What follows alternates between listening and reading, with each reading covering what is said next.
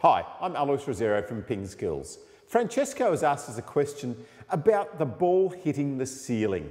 So Francesco says, in the place where I play table tennis, when the ball hits the ceiling, even if it hits the opponent's side and then goes out off the table, they say that it's the opponent's point because the ball cannot hit the ceiling.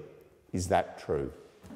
Francesco, the rule is that I've got to hit the ball so it hits my opponent's side of the table directly or after hitting the net. If it hits anything else, that's the end of the point and I lose the point. If the ball therefore hits the ceiling, that's Jeff's point.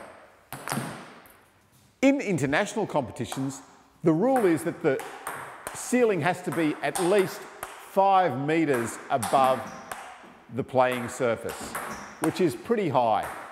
But in local tournaments, unfortunately, sometimes you're going to come across conditions where the ceiling is lower and you just need to adjust your strokes so that you're not hitting the ceiling.